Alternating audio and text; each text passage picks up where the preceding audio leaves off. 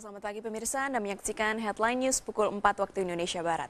Pelaksanaan hukuman cambuk kembali dilaksanakan di Nanggro Aceh Darussalam. Sepuluh orang dihukum cambuk di depan Masjid Agung Baitul Makmur, Melabuh, Aceh Barat.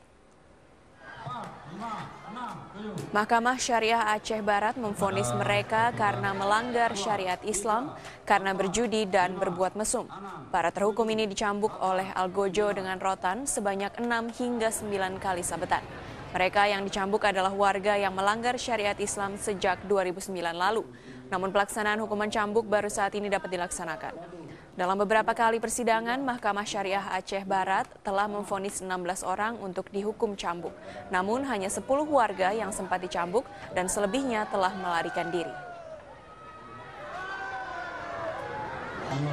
dua, tiga, empat, lima, enam, tujuh.